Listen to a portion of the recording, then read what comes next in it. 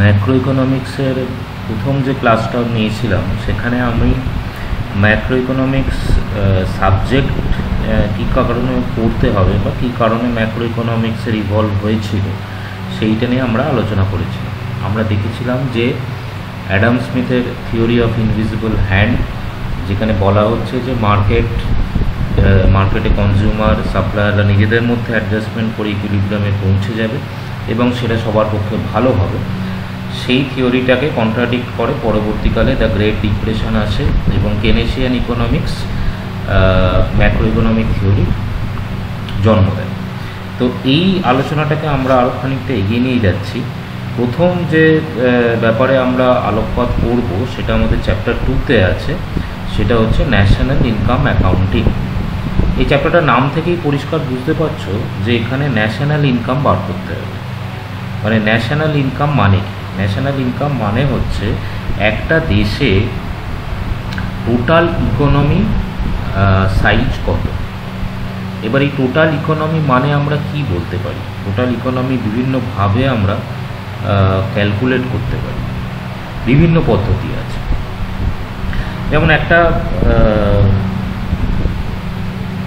একটা একটা একটা খুব স্মল সাপ্লায়ার ধরে নাও একটা ছোটোখাটো কোম্পানি সেই কিছু প্রোডাক্ট বাজারে বিক্রি করে। তো সেই প্রোডাক্টগুলো সবকটা যদি আমরা যোগ করি এবং এই ধরনের যত কোম্পানি আছে ওই দেশে, সবগুলোকেই যদি আমি যোগ করি মানে তাদের প্রোডাক্টের ভ্যালুগুলোকে আমি যদি যোগ করি, তাহলে আমি টোটাল আউটপুট পাবো। এবার এই জিনিসগুলো যদি সবাই কিনে নেয় মানে মানুষরা যদি কিনে নেয়, তাহলে সেক্ষেত্রে মানুষ কত খরচা করল? একটা দেশের সমস্ত মানুষ কত খরচা করল?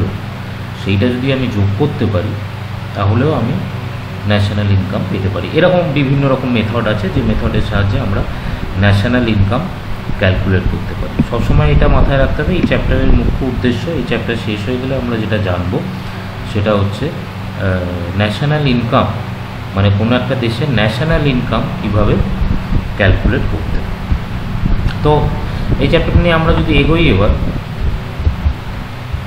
সেখানে আমরা যেটা দেখব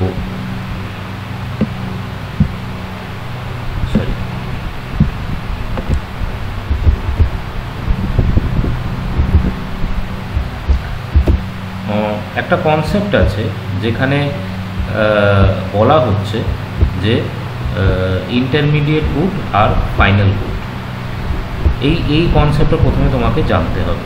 যখন আমরা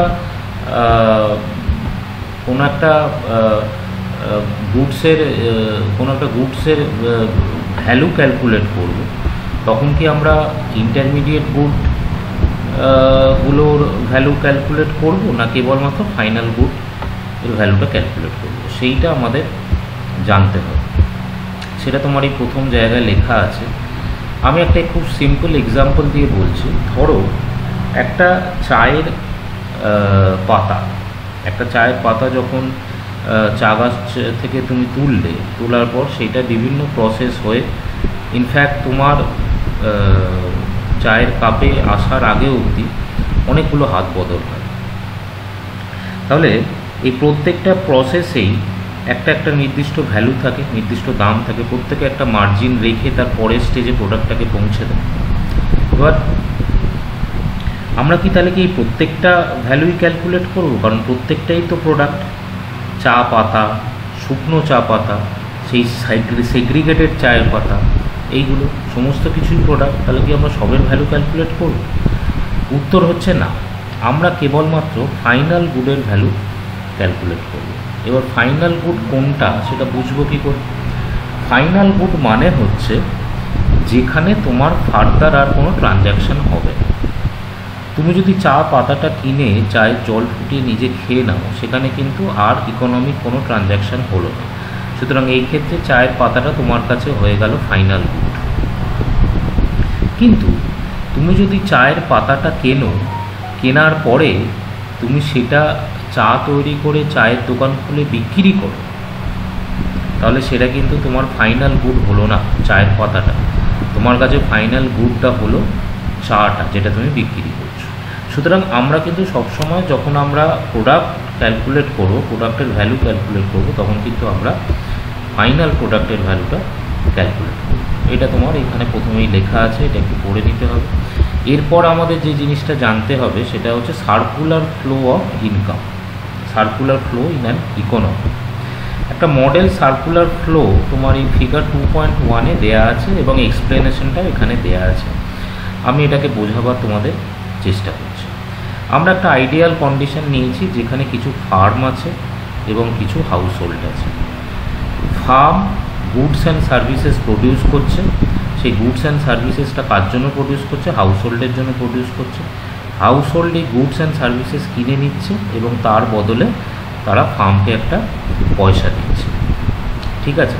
এই পয়সাটাকে স্পেন্ডিং এইটা হচ্ছে গুডস অ্যান্ড সার্ভিসেস আর স্পেন্ডিং এই স্পেন্ডিংটা যখন ফার্ম নিচ্ছে, তখন ফার্ম কি করছে?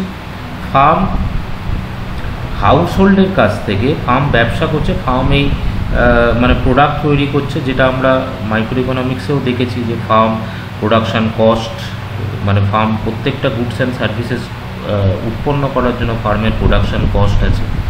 এবার ফার্ম একটা যখন একটা প্রোডাক্ট তৈরি করে, তখন কি খালি টাকা হলেই হয়? নিশ্চয়ই না। তার জন্য ল্যান্ড লাগে মেশিনারি লাগে লেবার লাগে। তো এই জিনিসগুলো কারা দেয়? ল্যান্ড হাউস হোল্ড দেয় লেবার হাউস হোল্ড দেয়। টাকা পয়সা যদি লাগে, সেটাও হাউস হোল্ড এবং তার বদলে ফার্ম সেই এগুলোই ফ্যাক্টরগুলো ফ্যাক্টর অফ প্রোডাকশান যেটা, যেটাকে এখানে ফ্যাক্টর সার্ভিসেস বলা হচ্ছে, সেটা হাউস হোল্ড ফার্মকে দিচ্ছে। ফার্ম তার বদলে হাউস হোল্ডকে কী দিচ্ছে? ফার্ম তার বদলে হাউস হোল্ডকে এই ফ্যাক্টরগুলোর জন্য পেমেন্ট করছে। মানে যখন সে ল্যান্ড দিচ্ছে, সে ল্যান্ডের বদলে পয়সা দিচ্ছে, যখন সে লেবার দিচ্ছে লেবারের বদলে মাইনে দিচ্ছে তারপর যখন সে টাকা ধার দিচ্ছে হাউস হোল্ড যখন টাকা ধার দিচ্ছে, তখন সে সেই ধারের, ধার বাবদ ইন্টারেস্ট হাউস হোল্ডকে পেমেন্ট করছে। ঠিক আছে? এবং কোনো প্রফিট যদি হয়, সেটাও কিন্তু হাউস হোল্ডকে পেমেন্ট করছে। তো এই যে তিনটে রাস্তা, একটা হচ্ছে আমি যদি এই রাস্তা বরাবর যাই মানে বি রাস্তা দিয়ে যাই, তাহলে আমার এন্টায়ার ইকোনমিতে যত গুডস অ্যান্ড সার্ভিসেস আছে প্রত্যেকটা গুডস অ্যান্ড সার্ভিসেসের ফাইনাল যে প্রোডাক্ট সেই ফাইনাল ফাইনাল গুডস যেটাকে আমি বলছি নট ইন্টারমিডিয়েটারি গুডস ফাইনাল গুডটা ভ্যালুগুলো আমি যদি সব যোগ করে নিই, তাহলে আমি টোটাল আউটপুট আমার দেশের ইকোনমিতে টোটাল আউটপুট কত হলো, সেইটা আমি বার করতে পারব।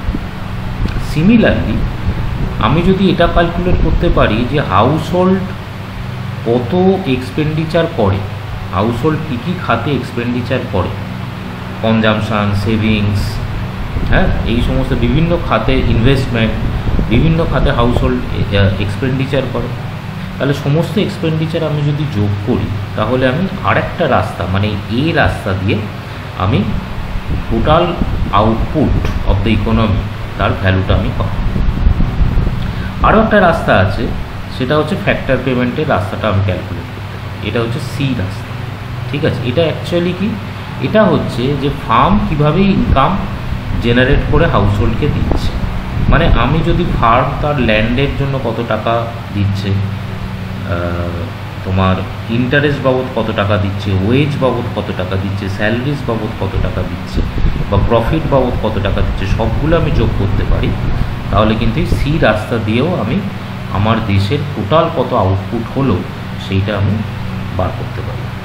প্রথম যে রাস্তাটা বললাম, যে বি রাস্তাটা, সেটাকে আমি বলছি প্রোডাক্ট মেথড কারণ এখানে আমরা সমস্ত প্রোডাক্টের ফাইনাল গুডস যেগুলো সেগুলো ভ্যালু যোগ করে নিচ্ছি। এটাকে বলা হচ্ছে প্রোডাক্ট মেথড মানে একটা ইকোনমিতে যত product product includes goods and services ঠিক আছে? সমস্ত প্রোডাক্টগুলো যোগ করে আমি মানে আমার সিস্টেমে টোটাল আউটপুটটা পেতাম আর এই রাস্তাটা হচ্ছে এক্সপেন্ডিচার মেথড হাউস হোল্ড কী কীভাবে এক্সপেন্ডিচার করতে পারে সেগুলো যদি আমরা সব যোগ করি তাহলে সেটা এক্সপেন্ডিচার মেথড আর লাস্টের এই যে রাস্তাটা সি রাস্তাটা, এটাকে বলা হচ্ছে ইনকাম মেথড হ্যাঁ মানে একটা হাউস হোল্ড কী কীভাবে ইনকাম করতে এগুলো যদি আমি সব যোগ করি তাহলে আমি টোটাল আউটপুট আমি ক্যালকুলেট করতে পারব এই total output of the economy এটাকে আমরা ইকোনমিক্সের পরিভাষায় বলছি গ্রস ডোমেস্টিক প্রোডাক্ট বা জিডিপি একটা জিনিস বুঝতে পারছ, এই তিনটে রাস্তায় তুমি যদি ক্যালকুলেট করো জিডিপি প্রত্যেকটা ক্ষেত্রেই কিন্তু ভ্যালুটা একই আসবে। মানে ফার্ম যতটা গুডস অ্যান্ড সার্ভিসেস প্রডিউস করবে হাউস হোল্ড সেগুলোই কিনবে। এবং হাউস হোল্ডের ক্ষেত্রেও ইনকাম এবং এক্সপেন্ডিচার সেটা সমান মানে বি ইকুয়াল টু এ হবে এ ইকুয়াল টু সি হবে। তার মানে A equal to B equal to C হবে। যে রাস্তা দিয়েই আমি যাই না কেন, আমার total output of the economy বা জিডিপি একই। তাহলে পরীক্ষায় প্রশ্ন আসতে পারে যে কী কী পদ্ধতিতে আমরা জিডিপি ক্যালকুলেট করি, তাহলে আমি বলব যে আমরা এই তিনটে পদ্ধতিতে আমরা জিডিপি ক্যালকুলেট করতে পারি। ঠিক আছে? এবার প্রত্যেকটা পদ্ধতির ডিটেলস এই বইতে আছে, যেটা আমাদের জানার দরকার নেই। কিন্তু এটুকু আমাদের জানতে হবে যে প্রোডাক্ট মেথড কাকে বলে এই এই এই কনসেপ্টটা জানতে হবে যে প্রোডাক্ট মেথড মানে হচ্ছে প্রত্যেকটা প্রোডাক্টের ফাইনাল ভ্যালুটাকে আমার যোগ করা। তারপর আছে তোমার এক্সপেন্ডিচার মেথড হ্যাঁ এক্সপেন্ডিচার মেথডে এক্সপেন্ডিচারগুলো আমি ক্যালকুলেট করছি। ফর্মুলা আমার খুব একটা কাজে লাগবে না। এইটা হচ্ছে এক্সপেন্ডিচার মেথড কনসেপ্টটা জানতে হবে, ঠিক আছে? আর লাস্টে হচ্ছে তোমার গিয়ে ইনকাম মেথড ঠিক আছে? ইনকাম কী, কীভাবে হতে পারে? ফর্মুলা জানার দরকার নেই, কিন্তু কনসেপ্টটা একটুখানি তোমাকে খেয়াল রাখতে ঠিক আছে? এইবার আমরা যেটা জানতে চাইছি, সেইটা হচ্ছে যে আমাদের চ্যাপ্টারটা কিন্তু হচ্ছে ন্যাশনাল ইনকাম হ্যাঁ আমরা ন্যাশনাল ইনকাম বার করতে চাইছি। তাহলে এখন প্রশ্ন হচ্ছে যে জিডিপিটাই কি ন্যাশনাল ইনকাম উত্তর হচ্ছে না। আমরা জিডিপি থেকে কতগুলো স্টেপ বাই স্টেপে গিয়ে আমরা ন্যাশনাল ইনকামে আসব? জিডিপি থেকে প্রথম যে জিনিসটা আমরা নামবো, সেটাকে বলা হচ্ছে গ্রস ন্যাশনাল প্রোডাক্ট বা জিএনপি জিডিপি মানে হচ্ছে তোমার দেশে যত জিনিস প্রডিউস হচ্ছে, তোমার টেরিটারির মধ্যে যত জিনিস প্রডিউস হচ্ছে দ্যাট ইজ কল্ড জিডিপি আর গ্রস ন্যাশনাল প্রোডাক্ট ন্যাশনাল শব্দটার উপর তোমাকে জোর দিতে হবে মানে তোমার দেশের যারা ন্যাশনাল যারা সিটিজেন তারা তোমার কত কী উৎপন্ন করছে। ওয়ারাজ ইন জিডিপি তুমি যেহেতু একটা বাউন্ডারির মধ্যে আছো, সেখানে তোমার দেশের বাউন্ডারির মধ্যে বিদেশি লোকও আছে। কিন্তু বিদেশি লোকের মাইনেটা তো তোমার দেশের জিডিপির মধ্যে আসবে না। সুতরাং তুমি যখন জিএনপি ক্যালকুলেট করবে, তখন তোমার এই বিদেশি লোকের মাইনেগুলো বাদ দিতে হবে এবং তোমার দেশের লোক যখন বিদেশে চাকরি করছে, তখন মানে তারা যে ইনকাম করছে সেটা তোমার জিডিপি জিএনপিতে অ্যাড করতে হবে। সুতরাং জিএনপির ফর্মুলা কি? GDP plus domestic factor of production যেটা বাইরের দেশে আছে মানে ডোমেস্টিক মানুষ যারা বাইরের দেশে চাকরি করছে, তাদের ইনকাম মাইনাস যারা রেস্ট অফ দ্য ওয়ার্ল্ড তোমার দেশে ইনকাম করছে। সুতরাং আমি জিএনপি ব্যাপারটা বুঝি। এবার জিএনপি থেকে আমি যেখানে নামবো, সেটাকে বলা হচ্ছে নেট ন্যাশনাল প্রোডাক্ট ঠিক আছে? এটা খুব সিম্পল ব্যাপার। জিএনপি থেকে তুমি এনএনপিতে আসবে, সেটা হচ্ছে ডেপ্রিসিয়েশনটা বাদ দিই। ডেপ্রিসিয়েশন কাকে বলে? ডেপ্রিসিয়েশন হচ্ছে তোমার, ধরো তোমার একটা মেশিন আছে।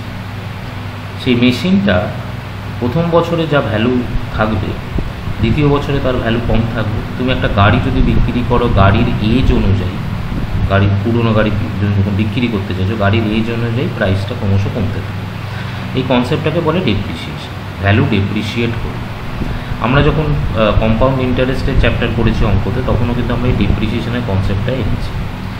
যে কোনো গ্রস প্রোডাক্ট থেকে ডেপ্রিসিয়েশনটা বাদ দিলে নেটটা পাওয়া যায়। মানে তোমার একটা গাড়ির দাম যদি প্রথমে একশো টাকা হয়, আর প্রত্যেক বছর পাঁচ টাকা করে ভ্যালু কমে যায়, তাহলে প্রথম বছরের পরে তোমার ভ্যালু দাঁড়াবে পঁচানব্বই টাকা। তার মানে গ্রস ভ্যালু হলো একশো ডেপ্রিসিয়েশান হচ্ছে পাঁচ, তাহলে নেট ভ্যালু হচ্ছে পঁচানব্বই। সুতরাং জিএনপি থেকে এনএনপিতে আমাকে নামতে গেলে কিছুই করতে হবে না। জিএনপি মাইনাস ডেপ্রিসিয়েশন করে দিলেই আমি নেট ন্যাশনাল প্রোডাক্ট পেয়ে এবার net national product is again needs to be adjusted to get national income ঠিক আছে? নেট ন্যাশনাল প্রোডাক্টটা কি? নেট ন্যাশনাল প্রোডাক্ট তুমি যদি ইনকামের দিক থেকে দেখো মানে ইনকামের রাস্তাটা দিয়ে দেখো, তোমার সমস্ত ইনকাম যোগ করা হলো। সেইখান থেকে তোমার ডেপ্রিসিয়েশনটা বাদ দিয়ে দেওয়া হলো ঠিক আছে? তুমি নেট ন্যাশনাল প্রোডাক্ট পেলে। এবার নেট ন্যাশনাল প্রোডাক্টটা সেইটা তোমার দুটো জিনিস হচ্ছে। একটা হচ্ছে net national product at market price আর একটা হচ্ছে net national product at factor cost factor cost R market প্রাইসের মধ্যে ডিফারেন্স তুমি একটা মেশিন তৈরি করলে, তোমার একটা কস্ট হলো। এবার সেই দামেই তো তুমি জিনিসটা বাজারে বেচবে না। তোমাকে প্রফিট রেখে বেচতে হবে। তুমি যেটা বাজারে বিক্রি করলে সেটা হলো তোমার মার্কেট প্রাইস আর যেটা তোমার তৈরি করতেও লেগেছিল that is called factor cost মানে factor cost is nothing but cost price market price is nothing but selling price তোমার অ্যাকচুয়াল কস্ট কত হয়েছে?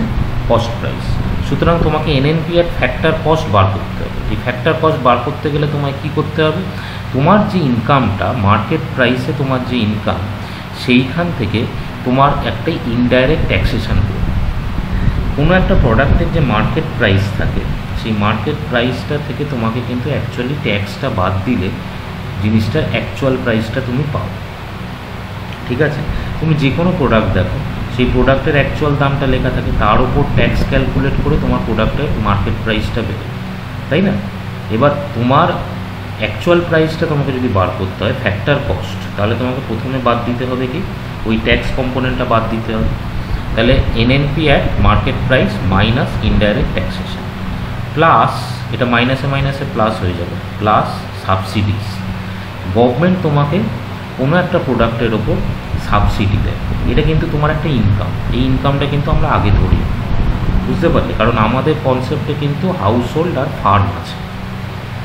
তাহলে ইনডাইরেক্ট ট্যাক্সেসটা তোমার বাদ যাচ্ছে এবং গভর্নমেন্ট তোমাকে সাবসিডি যদি দেয় ধরো ধরো গ্যাসের ক্ষেত্রে পেট্রোলিয়াম প্রোডাক্টের ক্ষেত্রে গভর্নমেন্ট একটা সাবসিডি দিচ্ছে।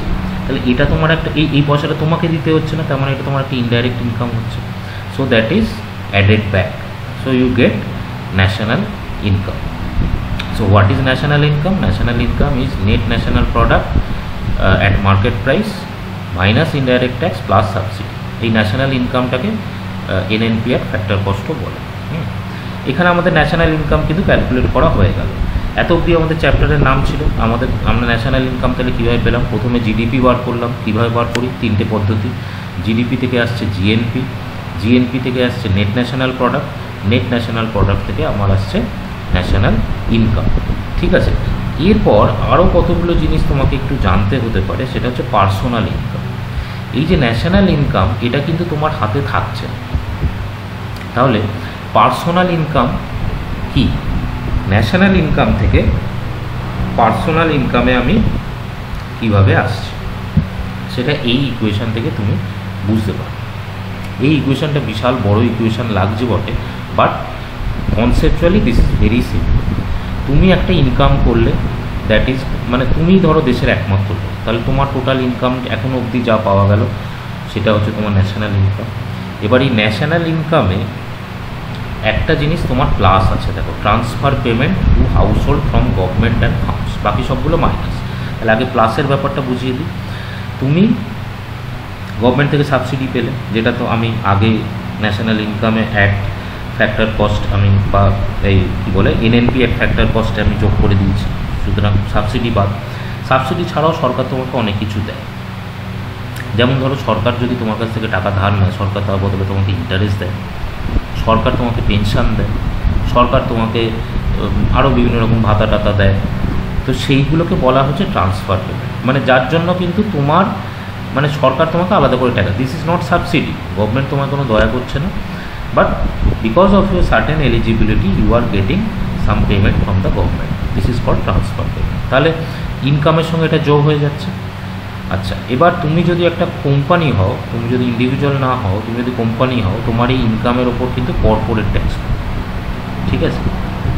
আর যদি তুমি কোম্পানি না হও, তাহলে কর্পোরেট ট্যাক্স পড়বে না, সুতরাং এই এই জায়গাটা তখন জিরো হয়ে যাবে আচ্ছা এবার তুমি ধরো সরকারের কাছ থেকে টাকা ধার করেছ, উল্টো ঘটনাটা হ্যাঁ তুমি ধরো সরকারের কাছ থেকে টাকা ধার করেছ, তাহলে তোমাকে ইন্টারেস্ট পেমেন্ট করতে হচ্ছে। তাহলে এইটা হচ্ছে মাইনাস করতে হচ্ছে net interest payment made by house hold ঠিক আছে? আর আনডিস্ট্রিবিউটেড প্রফিট এই আনডিস্ট্রিবিউটেড প্রফিট কথাটা অ্যাকচুয়ালি কিন্তু আমাদের প্রফিট বলা উচিত না। তার কারণ হচ্ছে this is actually not profit মানে এটা হচ্ছে যে তোমার যে সমস্ত সরকারি অর্গানাইজেশন আছে, সরকারি অর্গান আছে বা পিএসইউস যারা আছে, তারা তো প্রফিট মেকিংয়ের জন্য থাকে না, তারা বিভিন্ন রকমভাবে তারা তাদের সমস্ত রকম ফ্যাক্টর অফ প্রোডাকশানকে পয়সা দেওয়ার পরে বাকি যে পয়সাটা পড়ে থাকে, সেইটা তো ইন্ডিভিজুয়ালের মধ্যে আবার ডিভাইড হয়ে যায়। মানে ফার্মে ফার্মে ডিভাইড হয়। ফার্ম মানে কি? ফার্ম মানে হাউস হোল্ড সুতরাং হাউস হোল্ডের সঙ্গে ডিভাইড হয়ে গেল। সুতরাং ওইটাও কিন্তু তোমার আনডিস্ট্রিবিউটেড প্রফিটটাও কিন্তু তোমার ন্যাশনাল ইনকাম থেকে বাদ চলে যাবে। ঠিক আছে? তাহলে ন্যাশনাল ইনকাম থেকে কী কী বাদ গেল? আনডিস্ট্রিবিউটেড প্রফিট বাদ গেল। তুমি টাকা ধার করলে ইন্টারেস্ট পেমেন্টটা বাদ গেল। কর্পোরেট যদি হও কর্পোরেট ট্যাক্সটা বাদ গেল। আর অ্যাড ব্যাক হলো ট্রান্সফার পেমেন্ট এই নিয়ে আমি পেলাম হচ্ছে পার্সোনাল এখন প্রশ্ন হচ্ছে, এই টাকাটা কি আমার হাতে আছে? উত্তর হচ্ছে, আবার না। কারণ এই যে টাকাটা তুমি পেলে, এই টাকাটার উপর সরকার কিন্তু ইনকাম ট্যাক্স ঠিক আছে? সেটাকে আমরা বলছি পার্সোনাল ডিসপোজেবল ইনকাম ঠিক আছে? পার্সোনাল ডিসপোজেবল ইনকাম মানে হচ্ছে পার্সোনাল ইনকাম যেটা আমি আগে পেলাম, সেখান থেকে পার্সোনাল ট্যাক্সটা বাদ গেল, আমি ট্যাক্স যেটা দিচ্ছি। আর নন ট্যাক্স পেমেন্টও আমি কিছু করতে পারি। আমি কিছু ফাইন দিতে পারি পেনাল্টি দিতে পারি। না, যেগুলো ট্যাক্স নয়, ঠিক আছে? That is non tax payment তো this is comes here comes your the concept of personal disposable income এত অবধি তোমাকে একটু ইকুয়েশনগুলো জানতে হবে, আর কনসেপ্টটা একটুখানি বুঝতে হবে। সুতরাং জিডিপি থেকে পার্সোনাল ডিসপোজেবল ইনকাম অবধি তোমাকে ইকুয়েশনগুলো একটুখানি মনে রাখতে হবে। প্রাইমারিলি ন্যাশনাল ইনকাম আর পার্সোনাল ইনকাম এই দুটো কনসেপ্ট একটু ডিটেলে তোমাকে জানতে হবে। ওকে এইবার আমরা আসছি একটা ইম্পর্ট্যান্ট প্রশ্নতে যে আচ্ছা তার আগে আমাদের কতগুলো টার্মস আমাদের জানতে হবে। একটা হচ্ছে জিডিপি ডিফ্লেটার কাকে বলে? সেটা হচ্ছে nominal GDP by real GDP nominal GDP real GDP জিনিসটা কি? সেটা তোমার এইখানে পরিষ্কার করে একটা এক্সাম্পল দিয়ে বোঝানো আছে। এইটা খুব লুসিড এক্সাম্পল যদি বুঝতে পারো খুব ভালো, যদি বুঝতে না পারো আমাকে হোয়াটসঅ্যাপে বলবে আই উইল এক্সপ্লেন আরেকটা জিনিস আছে, যেটা হচ্ছে তোমার প্রাইস ইন্ডেক্স এটা তারপরেই আছে consumer price index consumer price ইন্ডেক্সেরও একটা অঙ্ক এখানে করে দেওয়া আছে। সেটা থেকেই তুমি কনজিউমার প্রাইস ইন্ডেক্সের কনসেপ্টটা বুঝে যাবে। তো আমি এটাও আর এক্সপ্লেন করছি না। কনজিউমার প্রাইস ইন্ডেক্সের মতো হোলসেল প্রাইস ইন্ডেক্সও আছে। ঠিক আছে? একই জিনিস দুটো আলাদা আলাদা লেয়ারে প্রাইস ইন্ডেক্সটাকে বার করা। যদি বুঝতে না পারো, আমি বারবার বলছি ফিজিক্যাল ক্লাসে যেটা হয়, তোমরা প্রশ্ন করো। কিন্তু এই এই ক্লাসগুলোতে যেহেতু তোমরা প্রশ্ন করতে পারছ না, তোমরা ভিডিওটা দেখেই কিন্তু যেখানে আটকে যাবে, আমাকে হোয়াটসঅ্যাপে মেসেজ করবে। লাস্ট এই চ্যাপ্টারে যেটা আছে জিডিপি আর ওয়েলফেয়ার জিডিপি মানে কি? জিডিপি মানে হচ্ছে একটা দেশের output monetary value of that output এখন প্রশ্ন হচ্ছে, এই জিডিপি যদি বাড়ে, তাহলে কি আমরা বলব যে দেশের উন্নতি করছে আপাত দৃষ্টিতে সেটা হ্যাঁ বলে মনে হলেও তুমি যদি কতগুলো ফ্যাক্টর তুমি ইয়ে করো মানে ভাবো, সেখানে কিন্তু দেখবে যে GDP is not the absolute measure GDP বা গ্রোথ জিডিপির যে রেট অফ ইনক্রিজ যেটাকে আমরা বলছি গ্রোথ সেই গ্রোথ কিন্তু it is not the measure of your real time growth or welfare of the state মানে জিডিপি বাড়ছে মানে যে দেশের সমস্ত লোক সুখে শান্তিতে আছে, সেটা কিন্তু বোঝা যাচ্ছে না। এটাই ছবিটার মাধ্যমেই বোঝানো হচ্ছে যে জিডিপি বাড়লে এরকমও হতে পারে যে একটা সার্টেন লোকের, একটা সার্টেন ক্লাস অফ পিপুলের ইনকাম বাড়ছে, কিন্তু সাধারণ মানুষ যেখানকার সেখানেই রয়ে যাচ্ছে বা আরও গরিব হয়ে যাচ্ছে। ঠিক আছে? তার কতগুলো থিওরি আছে? একটা হচ্ছে তোমার প্রথমটা যেটা